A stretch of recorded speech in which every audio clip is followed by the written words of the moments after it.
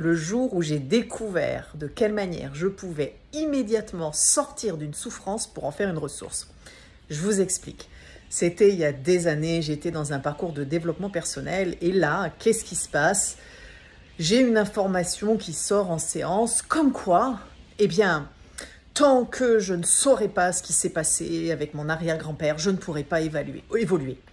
Et là, je me mets à pleurer parce que bah, mon arrière-grand-père est mort, parce que je sens que c'est une information qui est capitale, et que si je ne trouve pas cette information, je vais mourir, quoi, en transgénérationnel. Je suis foutu. J'appelle un des cousins de mon père qui l'a connu, et je lui dis, mais s'il te plaît, raconte-moi, euh, je suis pas là pour le juger, euh, ça va aller, j'ai juste besoin de cette information parce que ça va permettre de rebondir, c'est capital. Et lui qui était aussi dans un parcours me dit, Agathe, il est hors de question. On ne touche pas à mon grand-père. Cela ne te concerne pas. Il était très très bien. Qu'est-ce que tu viens remuer les choses? Mais je ne suis pas là pour les remuer. Je suis juste là pour avoir une info. Je, m'en fiche de sa vie. Je ne vais pas le juger. Et ce cousin me refuse de me donner l'information. Et je pense que ça tournait autour du couple. Et là, je me mets à pleurer, à pleurer, à pleurer, à pleurer. Et au bout de 24 heures de pleurs, je dis, mais qu'est-ce que je suis en train de faire? Cette information, si elle est capitale, elle est en moi, elle est pour moi. Et donc, je vais aller voir en écriture quantique ce que j'ai à dire. Et là, tenez-vous, c'était juste mon histoire.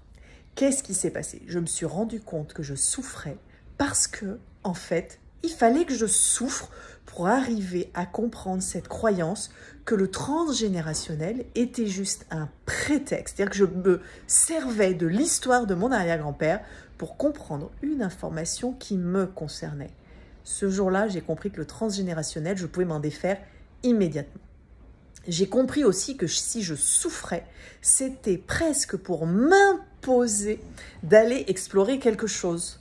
Et que tant que j'allais explorer quelque chose qui était extérieur à mon histoire, c'est-à-dire le grand-père, c'est-à-dire quelque part euh, les vies antérieures, c'est-à-dire euh, mon âme, tant que ce n'était pas moi pleinement ici et maintenant qui intègre à la fois les vies antérieures, mon âme, le transgénérationnel, le futur, euh, tous mes plans, pas seulement mon âme, qu'est-ce qui se passe dans mon corps, qu'est-ce qui se passe dans mon émotion, qu'est-ce qui se passe dans mon couple, qu'est-ce qui se passe avec mes enfants, c'était compliqué de s'en sortir. Ça risquait de prendre des années.